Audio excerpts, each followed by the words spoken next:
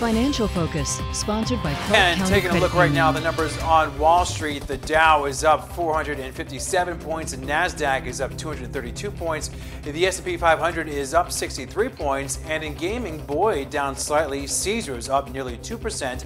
MGM is up nearly 1%. Las Vegas Sands is up almost 1%. But Wynn down about half a percent, and Red Rock Resorts down 4%.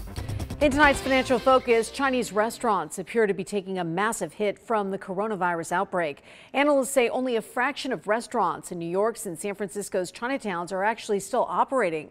Womply says the outbreak is hard on the entire restaurant industry, but Chinese eateries are by far the worst hit here. Analysts say that's partly because many Chinese restaurants have slim profit margins and have trouble paying fees for online delivery services.